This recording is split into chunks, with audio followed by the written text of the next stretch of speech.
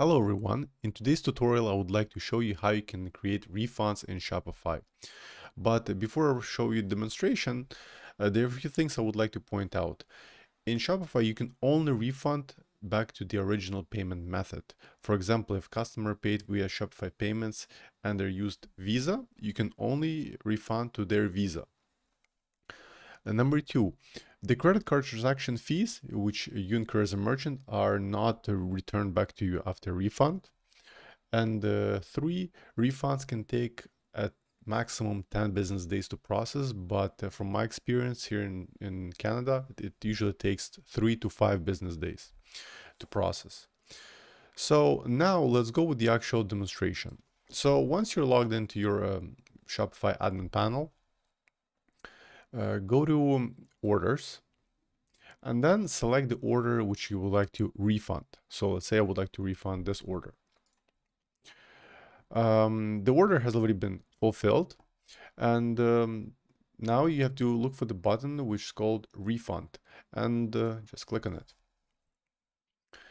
So from here you have few options. You can do either full refund or partial partial refund. To do a full refund, you essentially have to uh, add the quantities for each product into this field. For example, let's refund product two, one quantity, product three, two quantities, because the customer purchased two, and uh, product four, three quantities. Um, so plus you also have an option to restock items. Basically, if you you enable it after you initiate refund, the your stock will increase in Shopify because these products will be put back on shelf.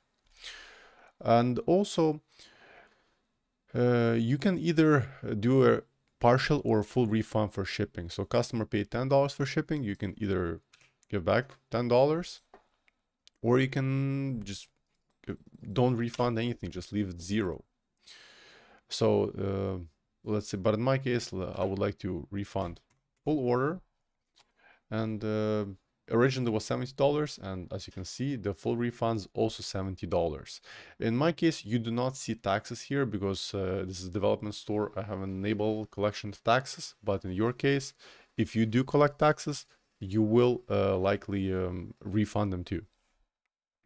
So once it's all uh, ready you just either can send notification to a customer if they enable their if they add the email address in the order form or you don't if you don't want to send the notification you just can disable it.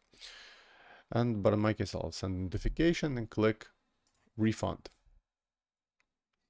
And that's it. The refund is processed and it will take several business days to show up on a credit card uh, history on, on on the customer side so I hope this video was helpful and uh, thanks for watching and please subscribe to my channel. Thank you.